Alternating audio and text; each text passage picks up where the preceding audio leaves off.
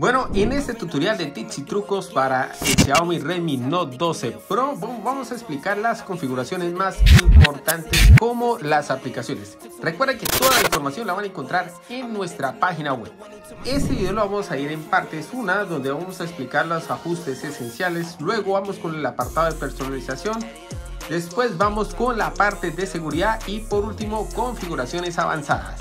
Bueno, la primera configuración que vamos a explicar en este equipo es el apartado de la RAM. Si lo tocamos acá, pues no nos muestra ninguna información adicional. Bueno, entonces, ¿qué vamos a hacer? Vamos a dirigirnos rápidamente por acá a pantalla de inicio y casi que de último nos aparece mostrar memoria y en este caso es la memoria RAM tocamos acá y ya nos aparece 5 gigas bueno consumidas de las 8 que tiene disponibles. Bueno, nuestra segunda configuración de estos ajustes esenciales es el tema de la RAM. En este equipo viene con, bueno, si se dan, bueno, lo pueden observar, es una RAM de 8. Puedo habilitar otra RAM adicional que es la famosa RAM virtual.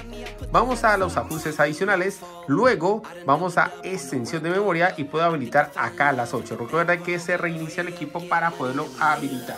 Y como nos damos cuenta ya tenemos 8 GB más las 8 adicionales. Ahí para un total de 16 bueno siguiendo con el apartado de configuraciones esenciales le recomiendo acá en pantalla habilitar la tasa de refresco de este equipo. Viene de forma predeterminada. Vamos a cambiar a personalizar. Viene por 60 Hz y viene con una bastante grande. 120 Hz dando esa sensación de fluidez bastante bien. Bueno, en el apartado de personalización, este equipo cuenta con, bueno, una aplicación que me parece importantísima. Vamos a le encontramos acá y es la aplicación de temas.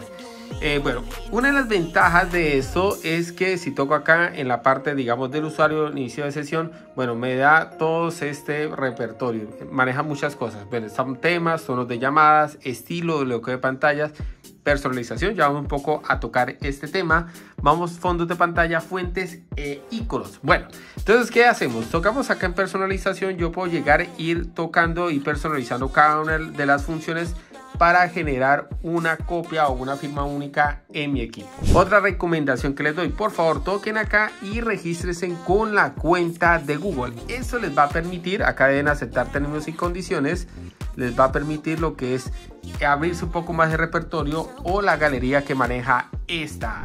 Bueno, siguiendo el apartado de personalización, les voy a recomendar esta. Bueno, me gusta mucho porque en ella, pues bien, vamos a encontrar todos esos fondos. Bueno, acá yo les recomiendo que vayan a la lupa y lo busquen de esta manera. Entonces acá, fondos de pantalla e imágenes en 4K. También eh, les recomiendo utilizar fondos de pantalla con Notch. Eso con el fin de utilizar esta cámara que haga parte de la imagen. ¿Cómo está? ¿Cómo está? ¿Y cómo está? Bueno, siguiendo nuestro apartado de personalización, otra cosa que les voy a recomendar, no sé por qué viene oculta. Bueno, vamos a ir a los ajustes adicionales. Luego vamos a buscar acá en ventanas flotantes algo que dice barra lateral. Si se dan cuenta, ese equipo viene con una pantalla muy grande que es difícil manejarla con una sola mano. Eso me va a permitir agregar aplicaciones rápidas y poderlas ir colocando acá, bueno, como yo quiera. Una vez que estemos terminado, podemos manejar todas esas aplicaciones con una sola mano. Siguiendo con nuestro apartado, vamos ahora con esa nueva app, el cual les va a permitir no solo, eh, bueno, complementar un poco ese ecosistema de personalización. Acá vamos a encontrar unos fondos de pantalla también muy, muy completos, mire, muy sobrados pero también vamos a tener lo que es fondos de pantalla de video, también lo que es tonos de llamada y por último sonido de notificación. Ahí lo van a encontrar de una forma rápida y sencilla. Y lo más importante, gratis. Generalmente ese equipo viene con una de las funciones más sobradas que se llama pantalla siempre activa. Eso lo que me va a permitir es que cuando la pantalla esté apagada, bueno, habilitemos esa función, tengamos esto. Entonces me aplique la batería, vamos a hacer el bloqueo para que vean cómo funciona. Mira, ahí está. Y fuera de eso, yo puedo agregar algunos efectos. Entonces vuelvo e ingreso acá pantalla siempre activa y acá la animación. Ejemplo, yo creo que quede esta animación. Vamos a hacer la prueba. A ver si nos aparece de una vez. Ahí está.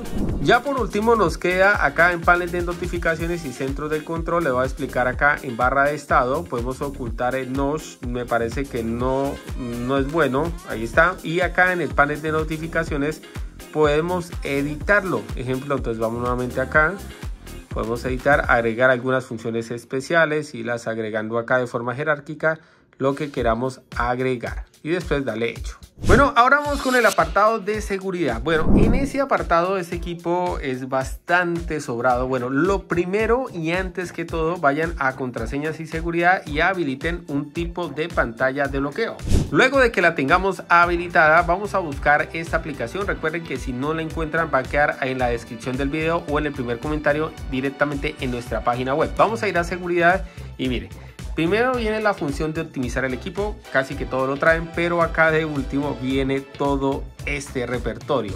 Entre ellas el segundo espacio. Es, bueno, esto segundo espacio es como crear una sesión o una segunda sesión en el equipo, donde yo puedo descargar mis propias aplicaciones, tener mi propia información, ejemplo, una sesión para la casa y otra para el trabajo, ejemplo. Entonces acá le doy continuar, puedo agregar una contraseña distinta Recuerden que por eso les indiqué que deben de colocar un código. Primero voy a colocar la L que es de mi primera contraseña, bueno, de mi primera sesión.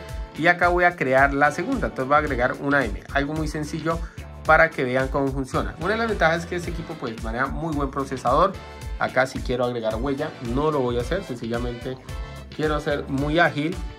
Y vamos a ver qué pasa cuando habilite esta función. Entonces, mira, ahí está bloqueado. Si hago y escribo la L, pues lo que hace es cerrarse la sesión y habilitarse la que estoy trabajando. Mira, ahí está, que es la que estoy manejando. Se dan cuenta, es por el fondo de pantalla que tengo. Y si vuelvo y bloqueo y habilito mi otra sesión, que es la M, pues sencillamente se va a abrir. Entonces esperamos un momento y ahí estaría ejecutándose cada una de las secciones. Hay de una manera fácil y sencilla. Bueno, siguiendo con nuestro apartado de seguridad, bueno, nuevamente tocamos acá en la, bueno, en la cuestión de seguridad. Si se dan cuenta, este equipo tiene una de las funciones más importantes que es el bloqueo de aplicaciones o bloqueo de app. En este caso voy a decir cambiar contraseña y voy a colocar un pin. Deseo colocar un pin, algo diferente, entonces voy a colocar 2026 ese pin volvemos y digitamos. Y voy a decirle ahora no. Acá le doy bueno que me bloquee todo esto. Mira ahí está todo. Entonces va a dejarle que me bloquee directamente youtube la galería. Bueno la galería que no me la bloquee porque la estoy trabajando en chrome. Bueno en fin. Entonces vamos a hacer la prueba. Vamos a buscar acá facebook y mire, ahí una vez me pide el código para poder ingresar.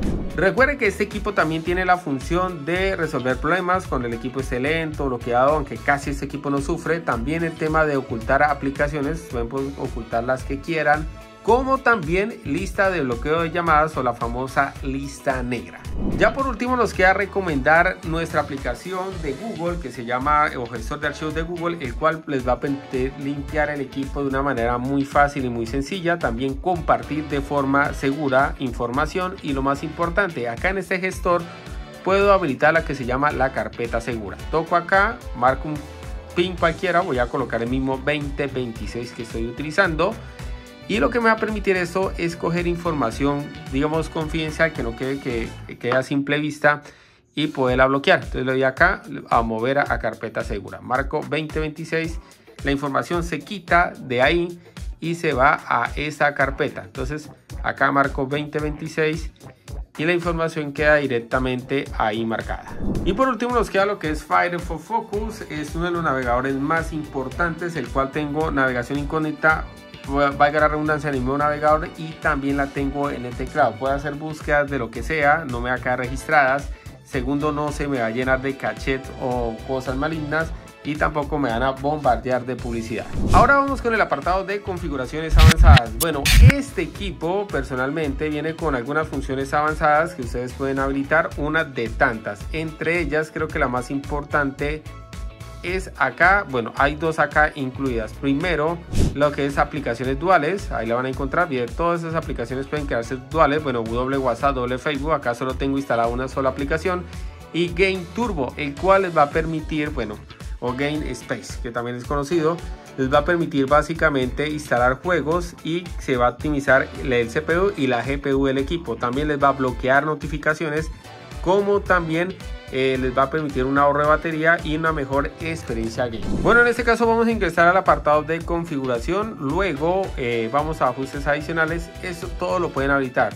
bola flotante eh, pueden habilitar algunos accesos directos y gestos ejemplo el tema de la cámara que tocando dos veces este botón puedan habilitar directamente la cámara del equipo entonces vamos a marcar nuestro código y ahí lo pueden hacer. Y vamos a recomendar estas aplicaciones que es Canva el cual les va a permitir hacer ediciones de miniaturas en YouTube posts en Instagram lo que quieran pueden editar acá. Después vamos a seguir con Peer Art el cual les va a permitir editar videos fotos lo que sea. Y por último nuestro editor de video.